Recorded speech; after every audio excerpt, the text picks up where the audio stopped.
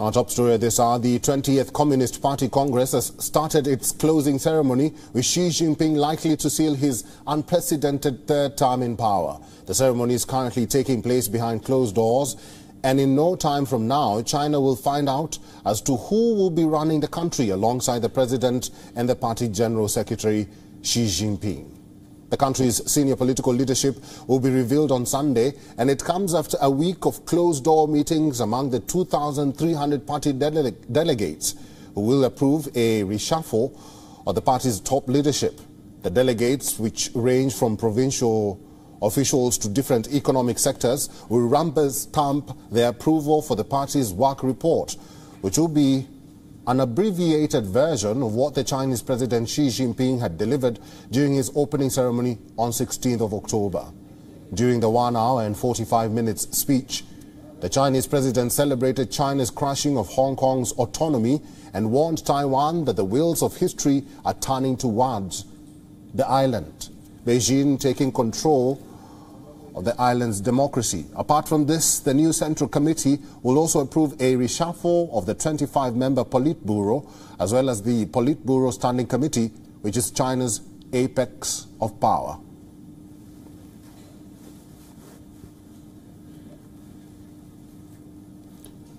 Lyle J. Goldstein, Director of Asia Engagement at Defense Priorities, is joining us to talk more about this. He is live from Barrington, Rhode Island. Lyle, welcome to WION.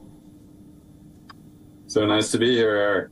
Thanks for having me. Xi Jinping, who is poised to clinch a third five-year term as China's leader, will tomorrow preside over the most dramatic, dramatic moment of the Congress and reveal the members of its elite Politburo Standing Committee. Lyle, why is this important and always kept secret? Well, it's quite a mystery to all of us. Uh, and, uh, you know, I think we're all uh, puzzling to some extent over the inner workings of the uh, higher echelons of the Communist Party. Um, but uh, it's also clear that uh, probably some uh, new blood, new leadership, uh, if you will, a new generation of Chinese leaders is due to take the stage. So I think um, we'll certainly be watching very carefully who are taking up these these posts around Xi Jinping. Uh, from my understanding, you know, there has been no hint of a successor. Mm-hmm. Uh, but uh, I think it's fair to say that that is already on, on many people's minds. Lyle, what's your prediction? What do you think uh, the standing committee will choose? Younger generation or just loyalist? Hmm. I expect uh, a bit of a mix uh, in there. Um, you know that there's definitely going to be uh, some turnover, but uh, clearly um, uh, the party does value loyalty extremely highly. You know that's obvious. Um, uh, on the other hand, Xi Jinping, you know, um, he uh, himself, um, I think, has has you know, his own sort of bold vision for China. Mm-hmm. Uh, very confident in his views and his uh, approach to leadership. So, um, you know, it wouldn't surprise me if he uh, sees the need to to bring in uh, mm, similarly uh, broad thinking and uh, you know some some young leaders with with some flair. So, you know, I, I I do think there will be some degree of uh, generational turnover. That said, though, I mean, this is a highly conservative regime right. that is uh, very concerned about stability and security. Uh, so, um, uh, you know, I don't think any kind of dramatic change is in the offing. I, if there's one way to summarize the uh, party Congress, it seems to be um, uh, the, the news is that there's no news. well put. Lyle, the makeup of the standing committee and the identity of the premier matter less than they once did because Xi has moved away from a tradition of collective leadership. Do you agree with that statement?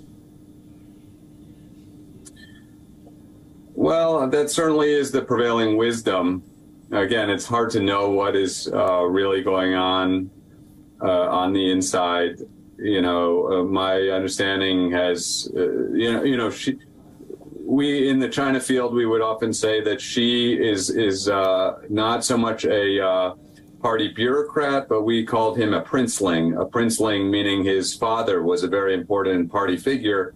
And uh, it's been described that princelings in the Chinese leadership uh, have a very um, a much bolder approach to leadership.